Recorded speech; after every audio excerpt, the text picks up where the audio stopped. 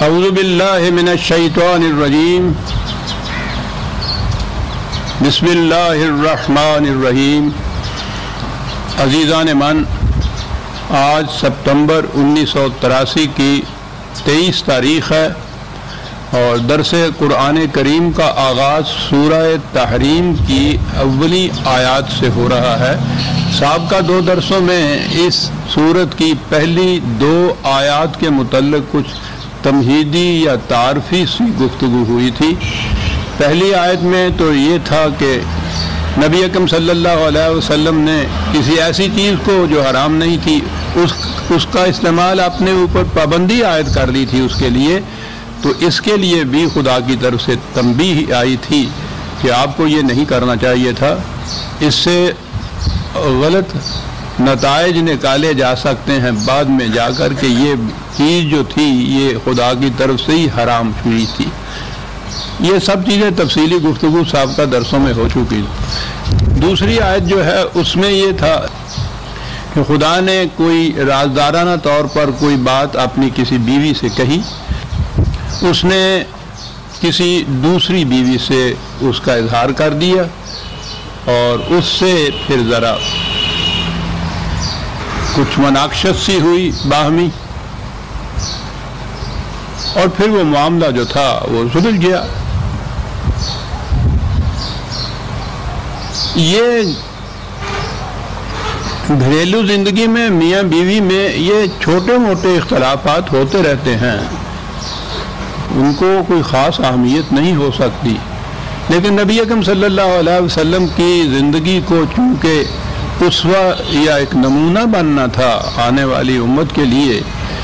इसलिए इन छोटी छोटी बातों से भी जहाँ कहीं किसी गलत फहमी पैदा होने का अंदेशा या ख़दशा हो सकता था, अल्लाह ताला ने ख़ुद ही उन, उसकी वजाहत कुरान में बता दी है।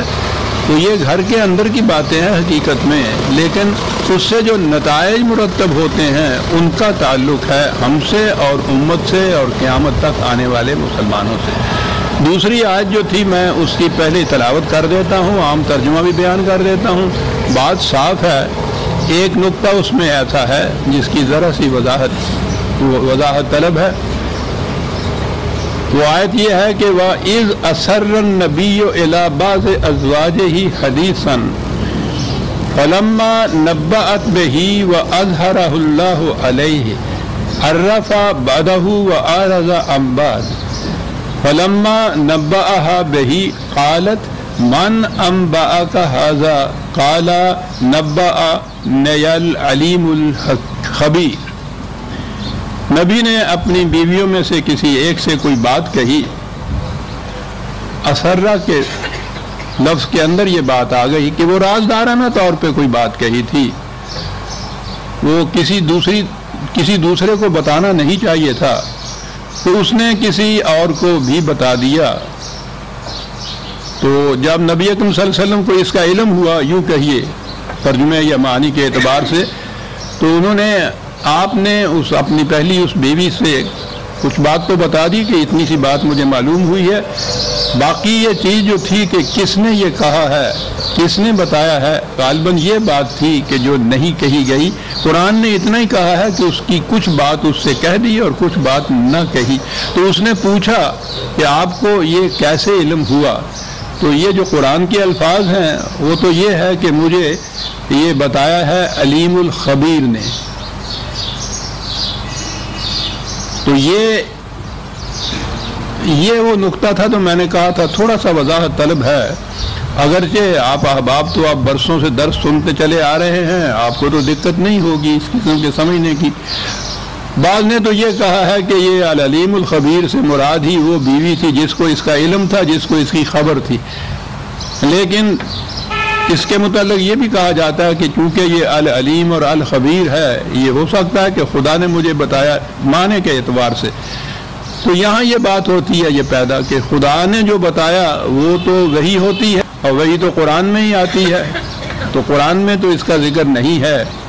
तो ये बात असूलन समझ लेनी चाहिए कि कुरान करीम का एक उसलूब और अंदाज यही भी है कि जो चीज़ें आम हालात में आम तौर पर फितरी तरीक के ऊपर भी कुछ मालूम होती हैं, उनके, उनकी नस्बत खुदा की तरफ़ कर दी जाती है। बेशुमार मकाम हैं कुरान में। और मैंने तो एक, इस पे एक पूरा मकाला लिखा था तलु इस्लाम में जो शाया किया था, इसी गलत फहमी को दूर करने के लिए कि जो इस अंदाज से होती है कि उन चीज़ों को खुदा की तरफ़ मंसूब कर दिया जाता है और फिर बात बनती नहीं है तो तरह तरह की तावीरात होती हैं। इसे जहन में रखिए। मैं वो मुख्तलिफ़ मकाम इस वक्त नहीं पेश करना चाहता, बड़ी तफसील से मैंने वो मकाला लिख दिया था। तकदीर की गिरहें गालबन उसका उनवान था। तलु इस्लाम में शाया हुआ था। उसके अलावा कई और मकाम भी हैं कि वो चीज़ जो इंसान अपनी तरफ़ से करता है या खुदा की दी हुई सलाहियत की बिना पर करता है, उसे खुदा अपनी तरफ़ मंसूब कर लेता है। इसकी बैन मिसाल मसन सूरा मायदा की आयत चार है, पांचवी सूरत की चौथी आयत, जिसमें ये कहा गया है कि तुम शिकारी कुत्तों को या शिकारी परिंदों को सिधाते हो शिकार करना, उस इलम की बिना पर जो खुदा ने तुम्हें दिया है। अब ज़ाहिर है कि शिकारी कुत्तों को सिधाने का इलम तो खुदा ने किसी को बर रास्त नहीं दिया है। ये क्या बात है जी? वो इलम जो खुदा मिम्मा अल्लामा कुमुल्ला वहाँ है। वो इल्म जो खुदा ने तुम्हें जो सिखाया है, उस, वो तुम अपने, उससे तुम अपने इन कुत्तों को सिधाते हो, परिंदों को सिधाते हो। मैंने एक मिसाल ये अर्ज़ की है कि ये चीज़ जो है, फितरी तौर पे भी जो चीज़ इंसान अखज करता है, हासिल करता है, जिसका इल्म हासिल करता है, उसे भी खुदा अपनी तरफ़ मंसूब कर लेता है। मैं ये चीज़ किसी दूसरे वक्त पे अर्ज़ करूँगा। कि उसे अपनी तरफ़ वो क्यों मंसूब करता है और किन हालात में मंसूब करता है। ये बैन मिसाल तो मौजूद है ना कि शिकारी कुत्तों को जो सिखाते हैं, सिधाते हैं तो वो तो वो तरीका होता है जो उन्होंने या तो अपने बुज़ुर्गों से सीखा होता है, उस्ताद से सीखा होता है, या अपने तौर पे ही उसको अखज किया होता है या मुरतब किया होता है। लेकिन खुदा ये कहता है कि उस इल्म की बिना पे तुम सिखाते हो जो अल्लाह तुम्हें देता है। तो ये एक मिसाल, या अल्लामा बिल कलम जो कुरान ने कहा है, खुदा ने तुम्हें कलम से लिखना सिखाया तो अब सीधी बात है कि खुदा तो नहीं सिखाता ना ये इस तरह कलम से लिखना। ये क्या बात है? इसके माने होते हैं कि जो सलाहियत खुदा ने तुम्हारे अंदर रख दी है, उस बिना पे तुम ऐसा करते हो। अगर ये जहन में बात रख ली जाए तो बहुत से मकाम साफ़ हो जाते हैं। वो मैंने अर्ज़ किया है ना कि ये मौजू ऐसा है कि अगर तफसील में मैं जाऊँ, इस वक्त नहीं जा सकता, कभी और अर्ज़ करूँगा कि आखिर में इल्लतुल या मुसबुल असबाब, दो द फ़र्स्ट कॉज जिसे आप कहेंगे, कड़ियाँ में लाते चले जाइए तो आखिर में यही बात होगी कि वो खुदा का अता करदा ही वो, अता करदा सलाहियत होती है। जिसकी बिना पे इंसान करता है, कभी उसको खुदा इस इंसान की तरफ़ मंसूब कर देता है, कभी खुदा अपनी तरफ़ मंसूब कर लेता है। तो बहरहाल ये तो जो, ये जो कहा हजूर की ज़ुबान मुबारक से कहलाया गया कि मुझे सिखाया अलीम खबीर ने तो ये वही की रूह से ऐसा नहीं था क्योंकि कुरान में ये नहीं है और वही कुरान ही के अंदर है। बहरहाल, बात आपने ये कह दी कि मुझे ये इल्म हो गया, इसके मुतलक मैंने जैसा अर्ज़ किया है, इस किस्म के इख्तलाफात मियाँ बीवी में होते रहते हैं। लेकिन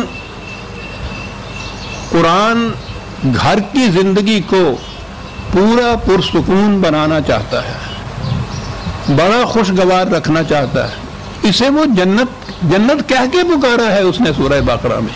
इस इस ज़िंदगी को जो घर की ज़िंदगी, सुकून और मुद्दत और रहमत और सकीनत की ज़िंदगी हो, उसे उसने जन्नत कहकर पुकारा है। तो इस जन्नत की ज़िंदगी में अगर ज़रा सी भी कहीं खलिश वाक़ हो जाए, थोड़ी सी भी फांस चुप जाए तो वो बात बाकी रहती नहीं है।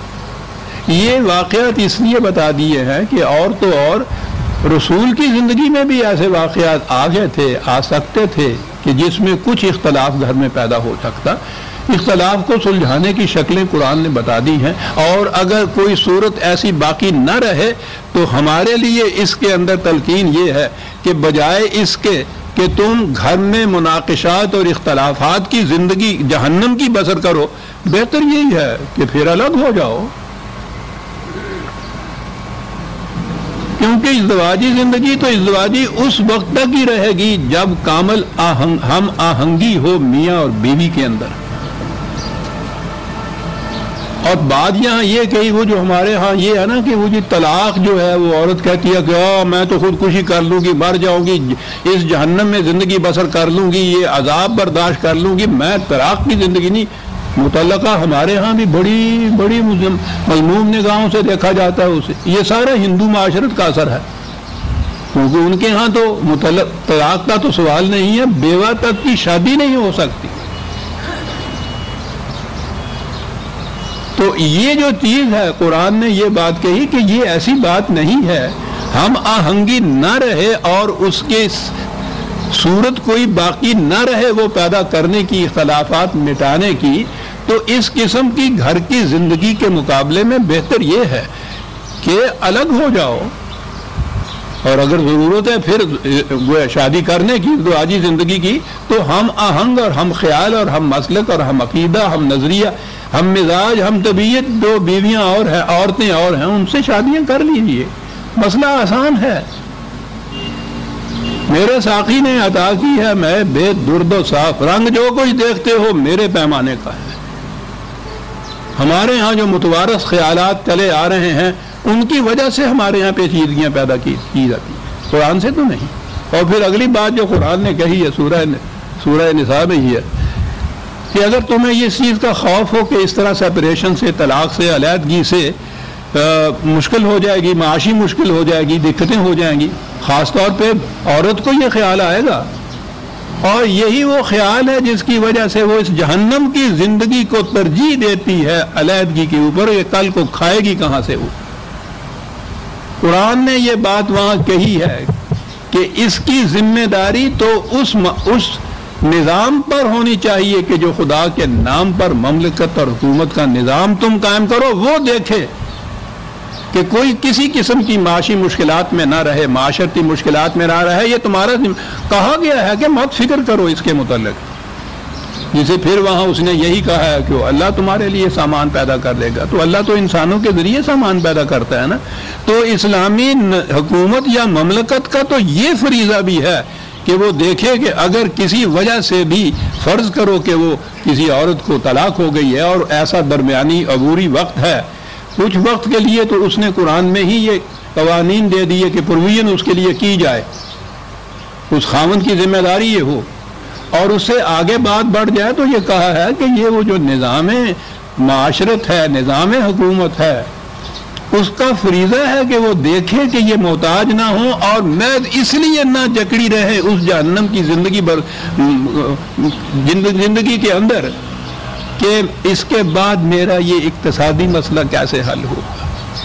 अजीब चीज़ें कुरान के अंदर अजीब आनी वो जहन्नम नहीं बनाता इसीलिए ये कहा आगे। मैंने अर्ज़ किया ना कि मामला मियाँ बीवी की आपस में थोड़े से इख्तलाफ का था, लेकिन चूँकि इसकी अहमियत उम्मत के लिए थी, कुरान ने बड़ी तफसील से इसको बयान किया है। ये चीज़ सूरह अहजाब में भी आई है। वहाँ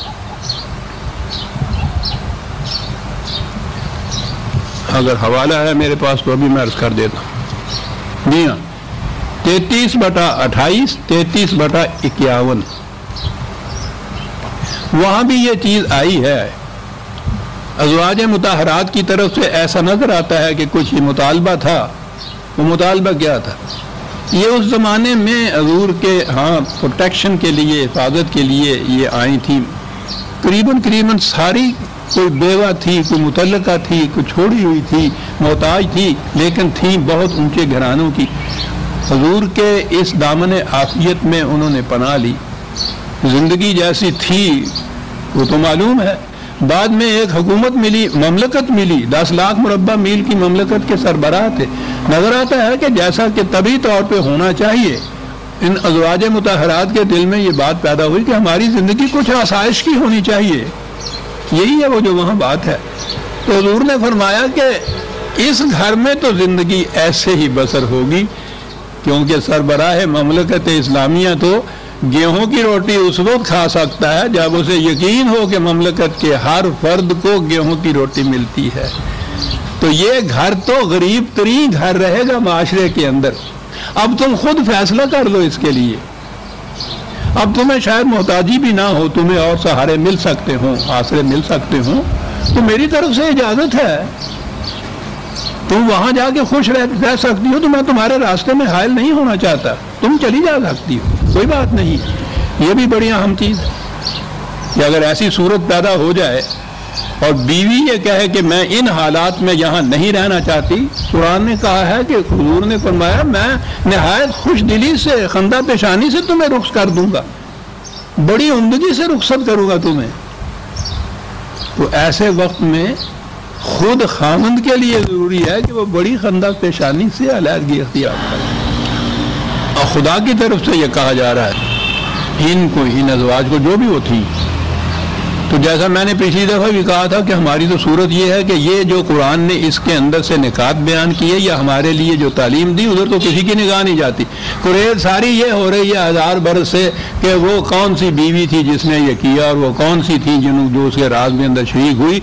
चले जा रहे हैं साफिस के ऊपर। किताबों की किताबें लिखी चली जा रही हैं। यानी जिस बात को तो कुरान ने बताया नहीं, हजूर ने खुद नहीं वहाँ को नाम लिया। अब वही जो मैंने पिछला दर्श बड़ा अहम था इस एतबार से आपको मालूम है कि रुजू कहाँ किया जाएगा?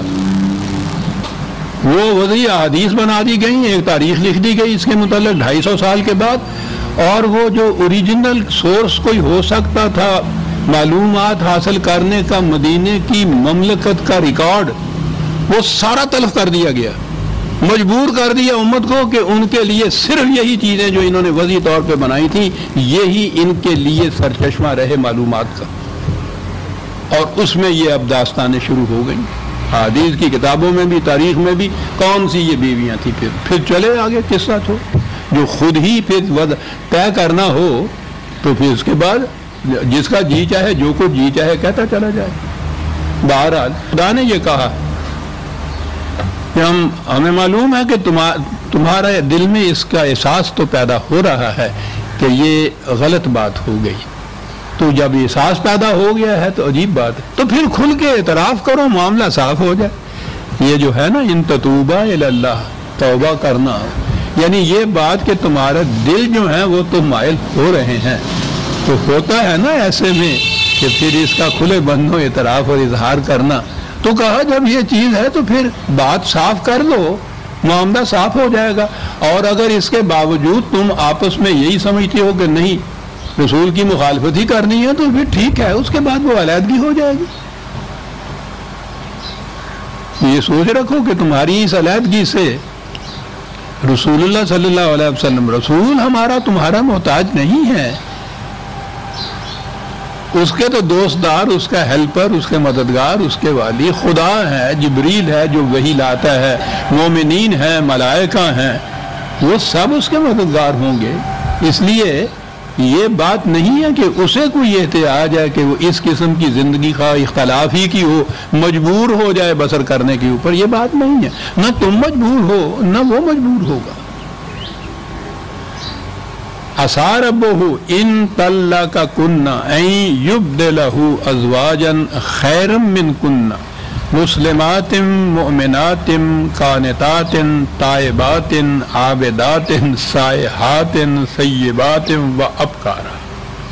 अगर मामला सेपरेशन तक पहुँच गया, अलीहदगी तक पहुँच गया तो फिर वही बात आ गई। बात तो ये था कि रसूल वसल्लम को और बीवियाँ मिल जाएँगी।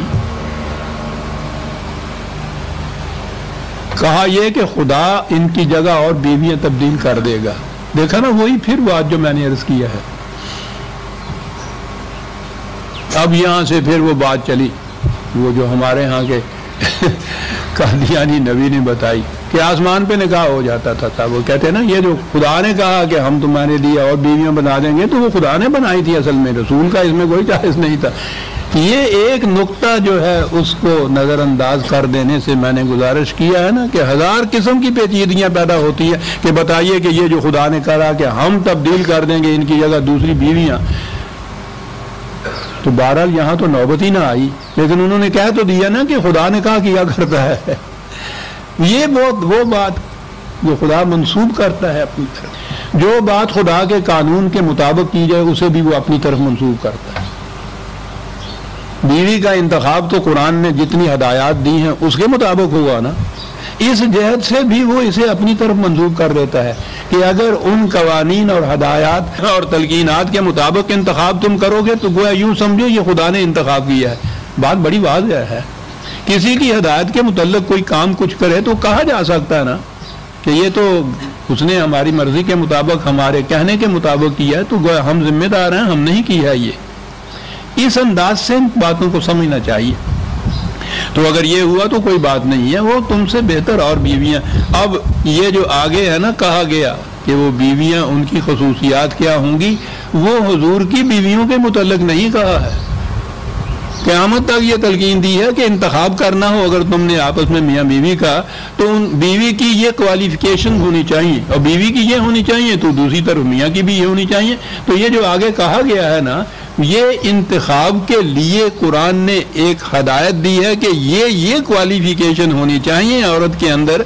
और फिर वो है जो हम आहंग तुम्हारे साथ होगी, क्योंकि तुम्हारे अंदर भी ये क्वालिफिकेशन और खसूसियात हैं कि वो मुस्लिमात हैं।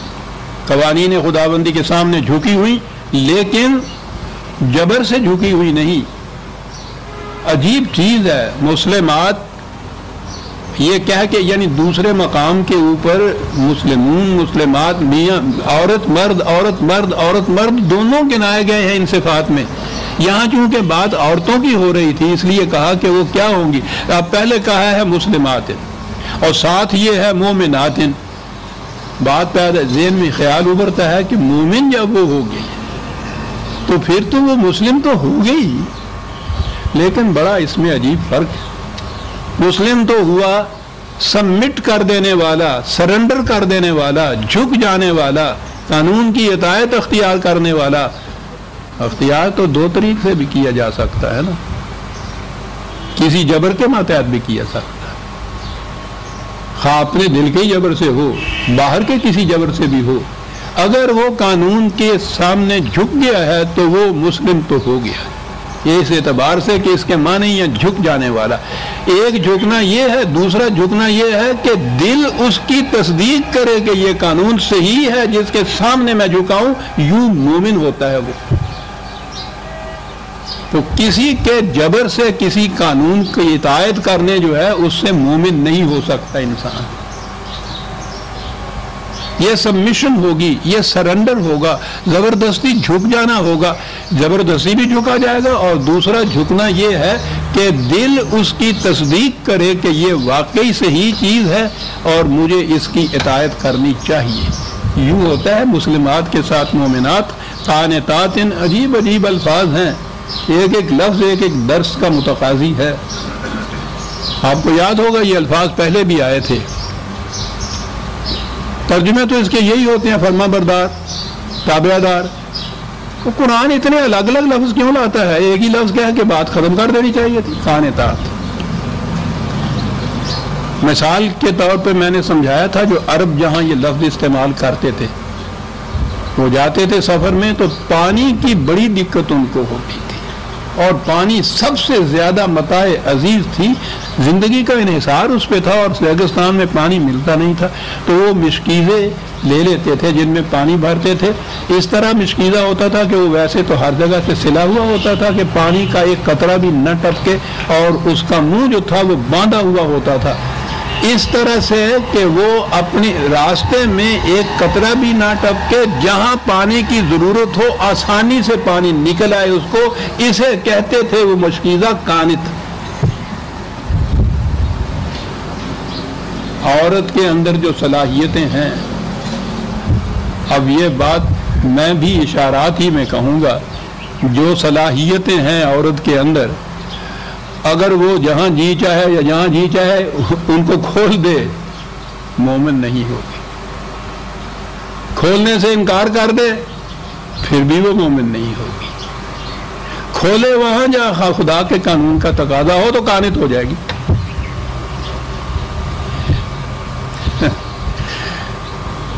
मन मैं फिर बार बार अर्ज़ करता हूँ, कुरान के अल्फाज पे बड़ा गौर किया कीजिए। और माफ़ रखिए, अगर मैं मैं कह दूँ मैंने आप अहबाब की ये मेहनत जो है उसको बचा लिया है लगातुल कुरान लिखकर।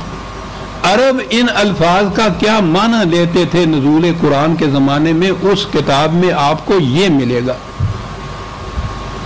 और वहीं से कुरान के जब ये अल्फाज के मानी आप मुतन कर लेंगे तो बड़ा आसानी से कुरान का मतलब समझ में आ जाएगा फिर। बहर खान तातिन तायबातिन, ठीक है। कभी कभी कुछ लफ्जिश हो जाती है। कुरान इंसान की इस कमज़ोरी को इतराफ़ करता है कि ये होता है। लेकिन एक तो ये है कि लफ्जिश हो और उस पर इसरार करके जमा रहे। वो कहता है ये तो गया जहन्नम। दूसरा ये है कि लफ्जिश के बाद एहसास हो जाए कि ये गलती हो गई, नदामत हो जाए उसके बाद, पलट आए उससे, छोड़ दे उसको तो इसे तौबा कहते हैं। कहा कि ये ठीक है, अगर किसी वक्त वो औरतें, जिनमें ये भी सूरत खसूसियत हो कि कभी किसी तरह से कोई लफ्जिश हो जाए घर में तो उस एहसास के बाद उससे लौट आए फिर। अभी अभी कहा है ना कि तुम्हें एहसास तो पैदा हो गया, खुले बंद बात क्यों नहीं करती? तो तौबा ये होगी, एहसास के बाद उसका एतराफ़ कर लेना और उसमें फिर इसलाह पैदा करके वापस उस मकाम पे आ जाना जहाँ से कदम गलत तरफ़ उठा था। इसे अरबी अरबों के यहाँ तौबा कहते थे। तायबात आबेदात बीबी ये मुस्लिमात झुकना ही है, मोमिन तस्लीम करना है, अबदियत के अंदर ये चीज़ होती है। यानी वक्फ कर देना अपने आप को किसी मकसद के लिए। अरबों के यहाँ तो चूँकि गुलामी राय थी, गुलाम अपने मकासद नहीं रखता था। मालिक के मकासद जो था, उनको बरुए कार लाने के का ज़रिया मानता था। खुदा ने जब अब्द कहा है तो वो बात गुलामी की तो नहीं, लेकिन कहा यह था कि मोमिन वो है जो अपनी ज़िंदगी को खुदा के बताए हुए मकासद के लिए वक्फ कर दे, जिस तरह एक गुलाम अपने मालिक के मकासद के लिए अपने आप को वक्फ करता है। ये माने होते हैं खुदा का अब्द होने। और सबसे बड़ा अब्द कुरान ने जो कहा है, रसूल को अब्द कहा है। अब भी ऐलान जो किया जाता है पाँच वक्त मीनारों के ऊपर से अब्द व रसूल। बुलंदरी मकाम जो है, आम इंसान का तो एक तरफ़, एक रसूल का बुलंद तरी मकाम जो है, वो खुदा का अब्द होना है आबेदातिन, सायहातिन। औरतों को हमारे लिए तो ये ना, घर में बंद होती है, कुरान के अंदर ये खसूसियत भी बताई जाती है। सैर में, बाहर, सफ़र में, साथ जाने वाली। कुरान ने खसूसियत बताई है। तो वो घर के अंदर मैं रो, दाल रोटी तक के लिए ही नहीं है। तो सफ़र में जाना है याद में जाना है इसके लिए साथ जाने वालियाँ। ये भी खसूसियत होनी चाहिए। सही बात है वो अब कारण वो तो कोई बात नहीं यहाँ दूसरी बात भी कह दी खा वो हम्म, गैर शादीशुदा भी हों या उसके बाद शादीशुदा भी हों बेवा हों मुतल हों वो बात जो हिंदुओं की माशरत से हमारे यहाँ घर कर गई कि बेवा और मुतल जो है, उसके साथ शादी में कुछ दिल के अंदर कभी इसी सी आती ही है। कुरान ने ये रसूल से ही के मुतल कह दिया कि ये बात नहीं है, वो औरत औरत होती है। अगर उसमें ये सलाहियतें हों तो ये है जिसका, जिसके ये इंतखब करना हो तो उसमें ये मैार अपने सामने रखो। और ये करने के बाद कहा अब मैंने जो अर्ज़ किया था ना कि बात कुरान एक ख़ास वाक़ की बयान कर रहा है। नतीजा उसके बाद जो अखज़ करता है, वो है जो फिर क़्यामत तक के लिए तालीम या कानून बन जाता है। अगली आयत में बात साफ़ हो गई आयोलजीना आमनु कु अनफुसकुम व अहलीकुम नारम। है जमात मोमिनीन ए उम्मत मुस्लिमा, बचाओ अपने आप को जहन्नम की ज़िंदगी से। तो तो अपने आप को बचाने की बात नहीं, की बाहली कुम भी कहा है। अपने आप को और अपने अहल को। अब अहल में बात घर के अंदर से शुरू होगी, जिसे अहल अयाल कहा जाता है। लेकिन अहल का लफ्ज़ बड़ा जामिया होता है। वो सारे आपके यहाँ की पार्टी के लोग भी अहल होते हैं आपके। कौम भी आपकी अहल होती है। एक ममलकत के बाशिंदे हुकूमत के भी अहल होते हैं। ये लफ्ज़ इन तमाम मानी के लिए इस्तेमाल होता है। तो कुरान ने कहा है कि जो जो भी तुम्हारे हल्का ज़िम्मेदारी के अंदर आता है, घर के इंसान हो या बाहर के भी हों, सारे अहल हो जाएँगे। अपने आप को भी जहन्नम से बचाओ और इनको भी जहन्नम से बचाओ। ये ज़िम्मेदारी आयद हो जाती है सरबराह के ऊपर कि वो खुद भी बचे जहन्नम की ज़िंदगी से, इनको भी बचाए। और अभी अभी जहन्नम की ज़िंदगी कुरान ने बताई है, घर के अंदर कैसे शुरू होती है, बचाओ। नार के मुतलक पहले भी ये आया है, वकूद हन्नास वल हजारत ये सूरा बकरा में भी आया है, वो जहन्नम के आम तर्जमा जो है, जिसका ईंधन इंसान और पत्थर होते हैं, वो बहुत कुछ लंबा चौड़ा फिर इसमें लिखा गया कि साहब, इंसान तो बहरहाल ठीक है, वो याद है आपको जो इकबाल की नज़म है? फिर दोहरा दूँ, इंसान किस तरह से जहन्नम का ईंधन होते हैं? उन्होंने कहा कि मैं ऊपर गया, शायराना अंदाज से देखा, सब कुछ जन्नत भी देखी, नजारी भी देखी। वापसी के ऊपर मैंने अपने साथ जो थे, फरिश्ता गाइड मेरा, उससे कहा कि भाई वो जहन्नम का भी सुनते हैं, ज़रा उसके मुतलक भी देख लूँ मैं एक झाँक के नज़र के वो क्या कहने के ठीक है, ये साथ ही तो है। तो उन्होंने लिखा कि वो मुझे वहाँ ले गया, मैंने वहाँ जाके देखा। मैंने सुना था कि बड़े बड़े शोले होते हैं आसमान बोस आग भड़क रही होती है, झुलस रहे होते हैं लोग। वो ठंडा ठार वहाँ नज़र आया, मैंने कहा, ये जानम कहने का यही जानम है।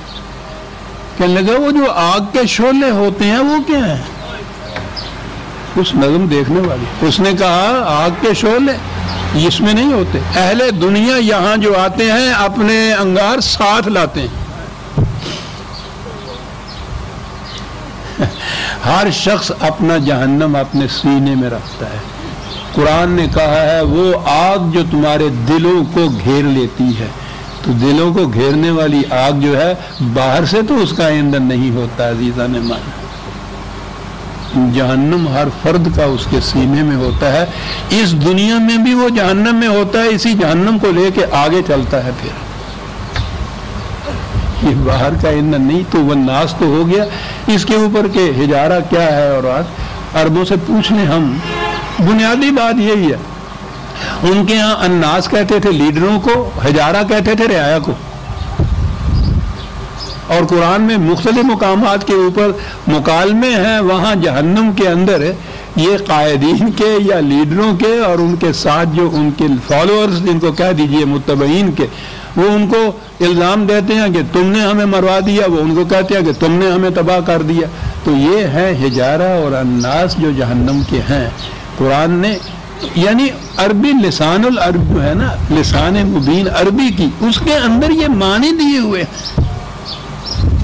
बहरहाल, और अगर वो वहाँ के जहन्नम के मुतलक है तो मैंने जैसा अर्ज़ किया आज की शूरी सतह पर हम उस ज़िंदगी के मुतलक कुछ नहीं समझ सकते।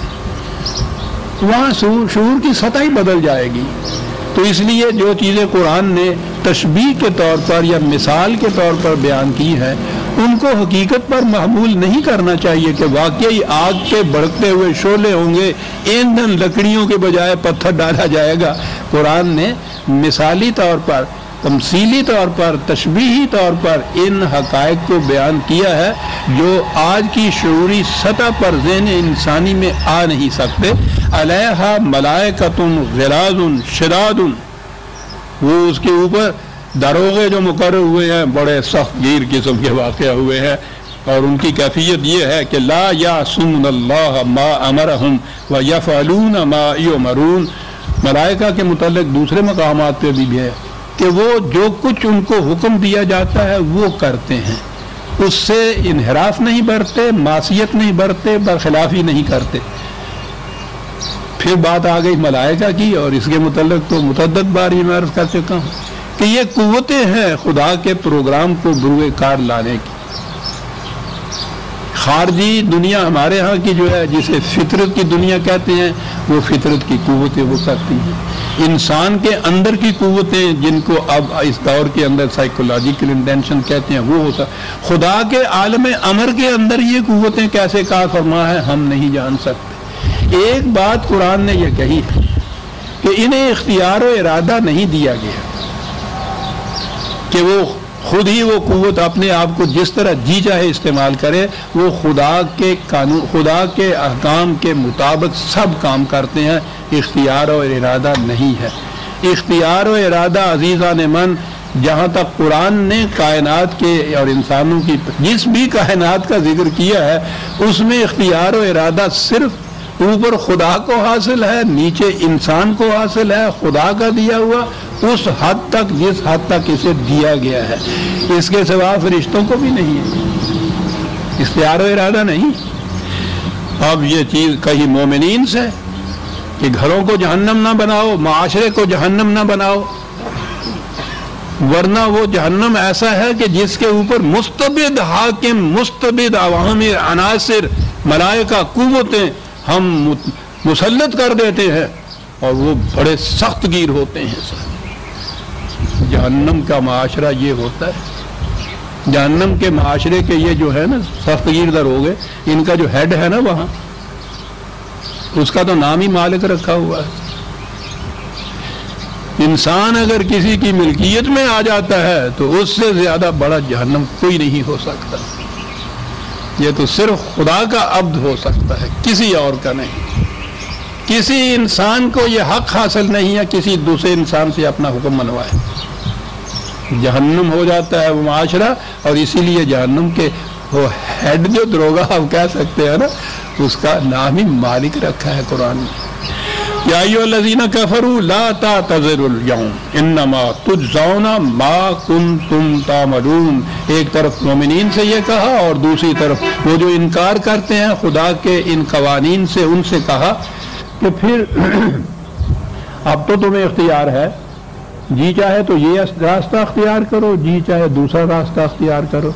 लेकिन जब जो रास्ता तुमने अख्तियार किया है, उसके नतज जब सामने आएँगे उस वक्त तुम्हारी कोई माजरत कबूल नहीं की जा सकेगी उस वक्त तुझ जौना मा कुन तुम तामलून, जो कुछ तुम आज कर रहे हो, उसके नतज तुम्हें भुगतने पड़ेंगे। इसलिए अब तो वक्त है कि तुम माजरत कर लो, पलट आओ, इसलाह कर लो।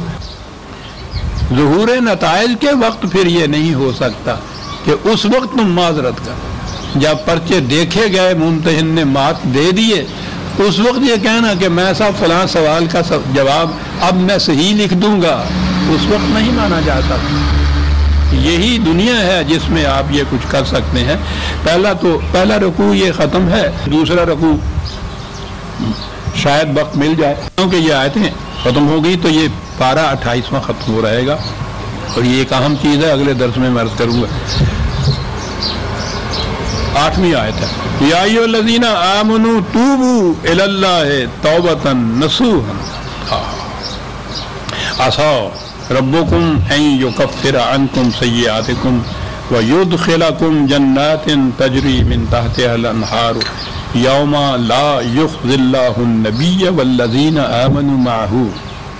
बाकी आयत का हिस्सा बाद में तलावत करूँगा। बड़ी अहम चीज़ है कहा यह है क्या है ईमान लाने वालों खुदा की तरफ़ रुजू कर लो। कहीं कोई लग्जश भी हो गई है एतराफ़ करो।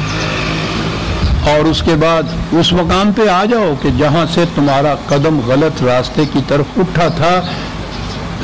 ज़ुबान के एतबार से ताबा इसको कहते हैं। ये करो। अब दूसरे दीगर मकाम में ये कहा गया कि ऐसे बात नहीं कि आज कहा गया आला मेरी तोबा, और फिर उसके बाद वही बात। फिर कह दिया कि नहीं साहब, मेरी तोबा। तो भाई वही बात। वो जो आपको याद है ना, जो जिसने कहा था कि साहब, ये सिगरेट छोड़ना बड़ा मुश्किल है। नहीं छूटता। कहने लगा, वाह, क्यों नहीं छूटता? बहुत आसान है। कहने लगा, कैसे? कहने लगा, हमने बीस दफ़ा छोड़ा। ये बीस दफ़ा छोड़ा क्या है? ये वो तोबा है ना, जो कुरान कहता है। क्या खूबसूरत शेर है रियाज का। इसी पे बीस दफ़ा छोड़ा है। जाम मैं तौबा शिकन। तौबा मेरी जाम शिकन। सामने ढेर है टूटे हुए पैमानों का। एक ये तौबा भी होती है। सामने ढेर है टूटे हुए। लेकिन कुरान ने एक लफ्ज इस्तेमाल किया है तौबा तन क्या बात है इस ज़ुबान की अजीजा ने मन? मैं तो चूँकि थोड़ा सा अदब से भी दिलचस्पी रखता हूँ, वही आ जाता है फिर जब बशर्ते कि उन अरबों से पूछा जाए कि भाई माने इसके क्या है? नसूहन तो नसीहत वाज सीधी बात। नासे हमारे यहाँ नसीहत करने वाला, नसीहत का लफ्ज़ आम है, यहाँ से ही उन्होंने कहा, बात है क्या ये? फटे हुए गिरेबान की इस तरह से रफू गरी करना कि वो मालूम तक ना हो कि ये सिया हुआ है और वो ऐसा सीना कि फिर ना फटे, इसे नसीहत कहते हैं।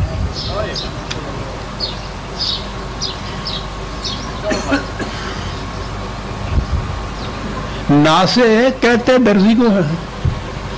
मिनसा सुई को कहते हैं। लेकिन उसमें खलूस होना चाहिए। मोटे कपड़े से शहद को अगर छाना और पुना जाए तो जो जिस तरह से खालिश शहद निकलते निकलता है ना, इस प्रोसेस को भी वो नसीहत कहते थे। तो इसमें खलूस भी होना चाहिए इस दर्जी के लिए। रफू गरी इस किस्म की होनी चाहिए कि मालूम ना हो कि सिया हुआ और फिर वो वहाँ से ना फटे। ये है तोबतन नसूहत।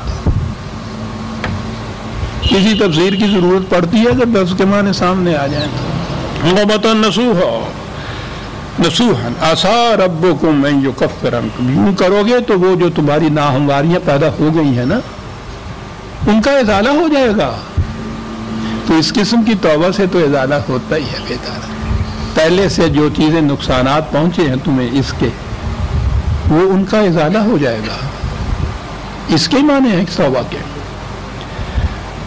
और उसके बाद खुदा तुम्हें उन जन्नतों में दाखिल कर देगा, जिसके नीचे पानी की शादाब, नारियाँ बारे। ये अनहार है, नहर, अरबों के यहाँ वो छोटी सी नारी भी नहीं थी, उसे भी नहर कहा करते थे। पानी की कमी थी ना। तो वो, इसके माने ये हैं कि जिनकी शादाबी और सरसब्जी में फ़र्क ना आए। मुसलसल पानी मिलता रहे जिन दरख्तों को, जिन क्यारियों को वो सरसब्जो, शादाब रहती है। कुरान ने ये चीज़ हर जगह दोहराई है। कि खिजा दीदा नहीं होगी कि छः महीने के लिए वो जन्नत हो और फिर टूट रह जाए। वो नहीं, ये खिजा दीदा नहीं। सदा बहार एवर ग्रीन जन्नत जो है।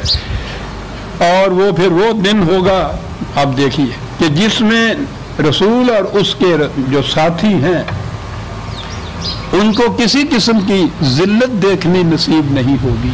ये है म्यार अजीज़ा ने मन, ईमान और अमाल सारिया का। कि इस जमात को फिर कहीं दुनिया में जिल्लत देखनी नसीब ना हो। और जो कौम मुसलसल जिल्लत के अंदर डूबी हुई हो, उसका दावा हक पहुँचता है कि अपने आप को वो मोमिन भी कहे और मुस्लिम भी कहे। जिल्लत देखनी नसीब ना हो। फिर अगली बात यह है कि ये ज़िंदगी कुरान की रूह से जामिद नहीं है स्टेगनेशन नहीं है, जमूद नहीं है, एक मकाम पे खड़ा होना नहीं है। एक मुकाम पे खड़े होना, हरकत रुक जाना, उसके लिए तो जहीम है, जहन्नम का लफ्ज है ये, जहीम उसके माने ये है। किसी मुकाम पर खड़े हो जाना, रुक जाना, हरकत बाकी ना रहना। हरकत रहती है। कुरान ने दूसरी जगह ये कहा है कि हमने तुम्हें एक ऐसी क्षमा दी है कि इसको लेके फिर दुनिया में चलो फिरो। हाँ। ये नहीं कि तुम्हारा रास्ता रोशन हो गया है तो क्षमा को लेके खड़े रहो। कि मेरा रास्ता तो रोशन हुआ, इतना ही नहीं फरीजा तुम्हारा कि तुम्हारा रास्ता रोशन हो। तुमने दुनिया के रास्तों को रोशन करना है, इसको लेके दुनिया में फिरो। और जो कौम खुद तारीखियों में डूबी हुई हो, उसने दूसरों को, रास्तों को क्या रोशन करना है? यहाँ उसी नूर के कहा नूर हम यसा बैन ऐदिहिम व बेमान उनका नूर वो चल रहे होंगे दाएँ बाएँ से, यानी एक तो सीधा भी रोशन करेगा, वहाँ ये है कि उनकी पेशानियों में वो हेडलाइट होगी। सामने का रास्ता, दाएँ बाएँ के रास्ते भी रोशन होते चले जाएँगे। रास्ते रोते, रोशन होते चले जाएँगे और उनकी ये आर्जुएँ होंगी कि यकूलून रबना अतमिम लना नूरना। ये खुदा हमारे इस नूर में और इजाफा कर दे, मुकम्मल कर दे इसको, इत्तमाम कर दे नूर का। सारी दुनिया जगमगा उठे दहर में इसमें मोहम्मद से उजारा कर दे। मुकम्मल कर दे खुदा। वही फिर है, हरकत मुसलसल रहेगी तो फिर ये कैफियत होगी ना। एक जगह खड़े हो जाने से तो बात नहीं रहेगी, खा नूरी क्यों ना हो? कैसे हो? वक्त फिर लना। कहीं अगर हमसे भूल चूक हो जाए, हमें हिफाजत में रख। इन का अला कुल्ल शैन कदीर। हमें पता है कि तुमने वैसे तो हर शय के लिए पैमाने और कानून मुकर कर दी है, लेकिन ये भी तेरा कानून है कि अगर कहीं भूल चूक से लग्जिश हो जाए और एतराफ़ हो जाए और इसलाह हो जाए तो जो उसकी वजह से नुकसान हो चुके होते हैं, उनका भी इजाला हो जाया करता है। ये कर दे। हाँ।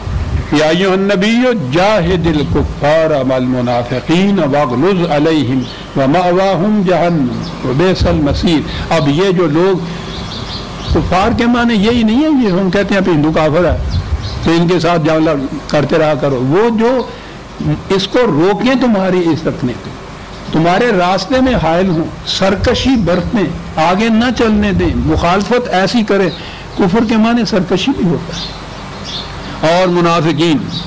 और मुनाफिकीन के मुतलक तो कुरान पर तीसरा हिस्सा भरा पड़ा है। सबसे ज़्यादा ख़तरनाक मरदा मुनाफिकीन का होता है। इनके खिलाफ ठीक है। ये जहाद सिर्फ़ तलवार ही का जहाद नहीं है हर किस्म की जिद्दोजहद का नाम ये है। कोशिश ये करो कि इनकी ये कारस्तानियाँ का, इनकी कामयाब ना हो जाएँ ये कारखानियाँ तुम्हारे रास्ते में ये रोड़े ना अटकाएँ। तुम नूर की शमा लेके चलो तो ये बुझाने की कोशिश ना करें। ये कुरान के अल्फाज हैं। वबे असल मसीर जहन्नम बहुत बुरा रास्ता है। अब दो आयतों के अंदर अजीज़ा ने मन, थोड़ा सा वक्त मैं और ले लूँगा। बात चली थी आयली ज़िंदगी से। बात चली थी अपने अपने अमल के नतीजे से, जजा से, बदले से, दो बातें हैं। बीवियाँ हम और दूसरी चीज़ ये कि किसी दूसरे का मोमिन होना, मुस्लिम होना, उसका नेक होना, किसी दूसरे को फ़ायदा नहीं दे सकता। और इसी तरह से दूसरे का बद किरदार होना, अगर ये खुद खुश किरदार है तो इससे मुआवजा नहीं होगा। ये दो असूल थे जो कुरान ने बयान किए, बीवियों के मुतलक भी और अपने अपने अमाल के मुतलक भी। और ज़रब अल्लाह हो मसलन कफरू, कफा कफा रुम रहा लूह वम रहा लू। ये जो कुफार हैं, इनसे बयान करो दास्तान, इनकी, नू की बीवी की और लूत की बीवी की। ये दोनों, यही नहीं कि नेकोकार बंदे थे, नबी थे, वो इनकी बीवियाँ थी।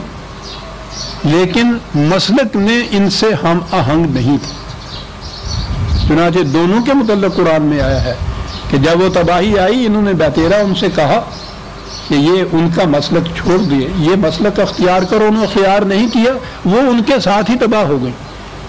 तो गोया कुरान ने बताया ये है कि अगर मसलक में कोई बीवी किसी दूसरे या मियाँ किसी दूसरे के साथ हो तो उसके साथ अगर मियाँ या बीवी में एक किरदार है तो ये चीज़ कुछ फ़ायदा नहीं दे सकती। मियाँ बीवी में भी एक दूसरे के साथ ये चीज़ फ़ायदा नहीं दे सकती। हज़रत नू की बीवी भी पीछे रही, तबाह हो गई। हज़रत लूत की बीवी भी पीछे रही, तबाह हो गई। कानता तहता अब दैन मिन इबादना सालहैन फ़खाना ताहुमा फलम युगनया अनहुमा मिनल्ला शया वकील नारा दाखिलीन वो अगरचे बीवियाँ थी हमारे अब्दों की आबाद की नबियों की लेकिन क्योंकि वो ईमान और अमाल सालिया में उनके साथ नहीं थी उनकी बीवियाँ होना उनके किसी काम ना आया और वो उनके साथ जहन्नम में दाखिल हो गई जिनका मसलक उन्होंने अख्तियार कर रखा था बीवी होना भी नहीं बचा सकता, औलाद होना भी नहीं बचा सकता माँ बाप होना भी नहीं बचा सकता। दूसरी तरफ़ वो कहा कि उन्होंने खयान, उन्होंने ये ये वह खाना ताह, ख़यानत की, इसका तर्जुमा करते हैं और फिर इस पर चढ़ाते हैं रद्दे। कुरान ने दूसरे मकाम पर कहा है ये बात जो थी कि उन्होंने ये मसले इनका ईमान अख्तियार नहीं किया था। वो जहन्नम में गई। अगला है, जरा बल्ला हो मसलजीना आमनुम रात फिरौन इज़ कालत रबिबन ली इंदा का बैतन फिर जन्नत, व नजनी मिन फिर व अमद ही व नजनी मिन अलकौमिन फिर की बीवी फिर मिसाल में। ऐसे अहम बात, उधर नबियों की बीवियाँ लाया है। इधर उसके मुकाबले में सरकशों की बीवियाँ लाया फिर जैसा सरकश, बीवी उसकी जो थी, कहा, वो ईमान रखती थी। वो खुदा से दुआ मांगती रहती थी कि या अल्लाह, इस जालम से मेरी नजात दिला। इस जालम कौम से मेरी नजात दिला। वह मरियम अबनत इमरान अल्लती अहसनत फ़रजह फ़नफ़न फ़ी है मिन रूहना, व सद्दाकत बे कलमात रब व कुतुब ही व कानत मिन अलकानतीन दूसरी तरफ़ मरियम बिनते इमरान ही उसको कहा है कुरान ने हर जगह। उनके मुतलक हज़रत मरियम सलाम की ज़िंदगी आपके सामने आ चुकी हुई है मुतद बार आ चुकी है। उनकी अहमियत कुरान ने यह बताई है कि उन्होंने खान का हियत की, जो पाबंदियाँ इंसानों की आयद करदा थी, उनके खिलाफ इनकलाबी आवाज़ ही उठा नहीं, उठाई।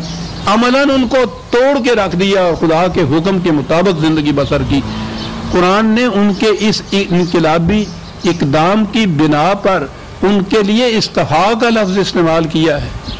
मुंतखब शुदा इमरान में कहा है कि अपने दौर की तमाम औरतों से मुमताज़ हैसियत थी उनकी, क्योंकि उन्होंने ये जो थी, माशरे की रवायात पेश मजहबी पेशवाओं की आयद करदा पाबंदियाँ, ये चीज़ें जो खुदा के कानून के खिलाफ जाती थी, उन्होंने इसकी परवाह नहीं की और अला रहम इनको तोड़ के रख दिया। बहुत बड़ी इनकलाबी खातून थी वो। जो खसूसियत बताई है उन्होंने कि उसने ये कुरान का अंदाज मुलाजा फरमाइए बात तो ये करनी है कि उन्होंने ऐसी बाहियाब महफूज इसमत की ज़िंदगी बसर की कि कुरान में यह है कि हैकल के अंदर किस किस तरह से वो जो पेशवा थे क्या क्या निगाहें बद इनकी तरफ़ डालते थे और कैसे इन्होंने अपने आप को महफूज रखा। कुरान का अंदाज यह है जो मैं कभी कहा करता हूँ ना कि मेरी बेटियाँ हैं, मैं वो अल्फाज नहीं। कुरान का अंदाज यह है कि ऐसी बात वो इन अल्फाज में नहीं कहता है। क्या लफ्ज हैं कुरान के जनाब? आसनत फर्जा अब फ़र्ज़ के मतलब तो आम तर्जुमा हमारे यहाँ माफ़ रखिएगा शर्मगाई किया जाता है। पूछिए कुरान की लताफत, उसकी नफासत, उसकी ये बुलंदी कि ये सबके सामने बात आएगी। इसके माने होते हैं चाके गिरेबां और आसनत उन्होंने अपने चाके गिरेबां तक किसी का हाथ ना आने दिया। ये कह रहा है तो। क्या अंदाज है बात करने और फिर वो जो मुद्दा था ना कि बच्चा पैदा होने वाला हमल से। हैगल की ज़िंदगी में तो शादी नहीं कर सकती थी। कर सकती थी तो हैगल के किसी पुजारी के साथ कर सकती थी। उन्होंने बाहर शादी की। बच्चे के मतलब कुरान में ये जहाँ भी इंसानी बच्चे का ज़िक्र आया है, उसमें ये चीज़ आई है कि खुदा ने अपनी तोानाई का शिमा उसमें दाखिल कर दिया। बात ये लंबी हो जाएगी। और इसे नफा कहा है रूह खुदाबंदी का। कभी उस औरत के मुतलक जिसके बतन में वो बच्चा हो, कभी बर रास्त उस बच्चे के मुतलक ये अल्फाज कुरान में आए हैं कि वो बच्चा था, आम इंसानी बच्चों की तरह खुदा ने अपनी तोानाई का शिमा उसमें फूक दिया था। वो उसने खुदा के कवानीन की सदाकत का अमली सबूत बहम बचाया। उसकी किताबों के ऊपर अमल करके दिखाया। और वो, अब आया लफ्ज़ वो कान तीन में से थी। गौर फरमा लिया कहाँ लफ्ज आ गया या कानित हैकल की ज़िंदगी जो हमेशा के लिए वो वहाँ कंवारी रहने के तलकीन करते थे या वो भी कानित नहीं हो सकती थी कि वो मशकीज़े का पानी मशकीज़े में धरे का धरा ही रह जाता, प्यासे के काम ना आता। उसने दूसरी रवश भी अख्तियार नहीं की थी कि जहाँ बिला ज़रूरत ही वो गिरा दिया जाता। क्या बात है ही का तर्जमा कुरान ने किया है। उसने बरमाके और बरमहल उस सलाहियत को इस्तेमाल किया। कान तीन में से हो हिस्सा सूरह तहरीम की आखिरी आयत है। जीदान मन ख़त्म हो गए आइंदा दर्स में हम अगली सूरत, सूरह मुल्क और सूरह मुल्क लेंगे। सिक्सटी सेवन्थ और मैंने अर्ज़ किया कि इस पर अट्ठाईसवा पारा भी ख़त्म होता है। उसकी तमहीद में भी मैं कुछ अर्ज़ करूँगा उस पारे से। उनतीसवां और तीसवा पारा दो ही पारे अब हमारे सामने रह गए हैं। वक्त हो गया है अंदर दर्श में अर्ज़ करूँगी कि मेरे जज्बात की कैफियत क्या है, ऐसे मकाम के ऊपर आके क्या होती। रबना तकबल मिन्ना इन्ना का अंत समी